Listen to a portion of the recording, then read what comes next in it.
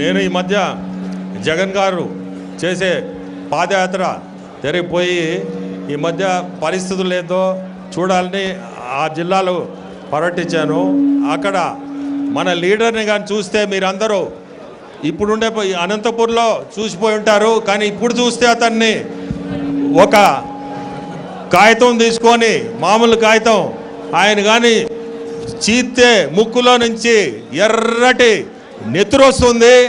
ఇవన్నీ మనం అందరం కలిసి రేపు ఇవన్నీ మన- మన నేను నా కళ్ళతో చూశాను కాబట్టి చెప్తున్నాను.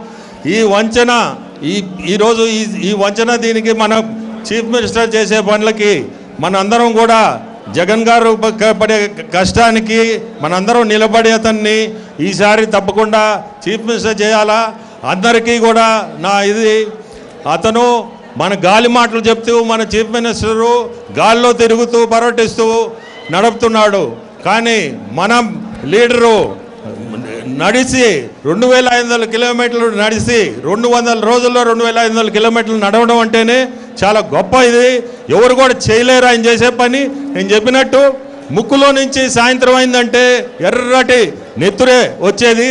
అదంతా కూడా దుమ్ము ఈ దుమ్ములో నడిచి ఆయన పడే కష్టము ప్రతి ఒక్కరిని కూడా పలకరిస్తూ ఆ నడిచేటప్పుడు అందరినీ పలకరిస్తూ కూడా ఏమేమి ప్రాబ్లమ్ సమస్యలు కూడా కనుక్కుంటూ ఆయన ముందుకు పోతున్నాడు. సో మనందరం సైనికుల్లాగా పనిచేస్తూ అతన్ని చీఫ్ మినిస్టర్ కుర్చీలో కూర్చోబెట్టాలా? అదే నా కోరిక. మీరందరూ కూడా దానికి తప్పకుండా చేస్తారు. కష్టపడాలి అందరూ కూడా. అదే థ్యాంక్ యూ.